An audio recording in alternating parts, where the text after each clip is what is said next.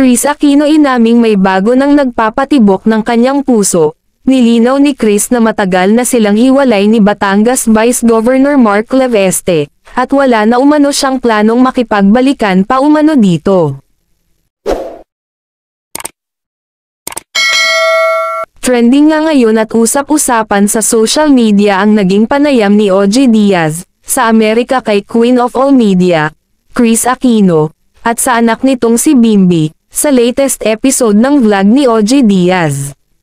Isa sa natalakay ni Chris Aquino sa kanyang panayam ni OJ ay ang tungkol sa estado ng relasyon nila ni Mark Leveste. Nilinaw ni Chris na Nobyembre pa lang nung nakaraang taon, ay nagkalabuhan na sila, dahil sa mga bagay na nalaman tungkol kay Mark na hindi umano niya nagustuhan. Sinubukan umano nilang ayusin, subalit Pebrero ng kasalukuyang taon nang tapusin nila ang kanilang ugnayan. Bukod dito malaking bagay ang minsang nasabi umano sa kanya ni Bimbi.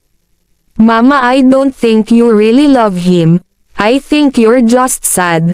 Tumatak yun sa akin, sabi ko yes that's true, at nang matanong kung mabibigyan pa niya ito ng isa pang pagkakataon, diretsahan ang naging sagot ni Chris.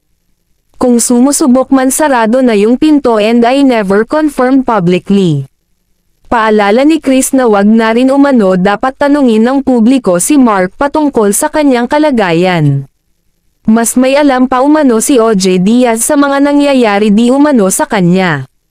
Wag niyo na siyang tanungin kung kumusta ako, kasi di naman talaga niya alam kung kumusta na ako. Kasi wala nang komunikasyon doon. Kinumpirma din ni Chris na may bago umanong nagpapatibok ng kanyang puso. Ika nga ni Chris isa daw itong doktor na nakabase sa Pilipinas, at nang itanong ni OJ Diaz kung saang bahagi sa Pilipinas. Sagot ni Chris, ay sa Makate. Ito umano ang rason kung bakit malakas ang loob ni Chris na umuwi sa Pilipinas, sakaling maging maganda ang mga resulta ng kanyang kalusugan, agad din niyang nilinaw na ang kanyang bagong pag-ibig ay hindi rason kung bakit sila naghiwalay ni Mark. Sinabi din ni Chris na isang doktor ang bago niyang pag-ibig.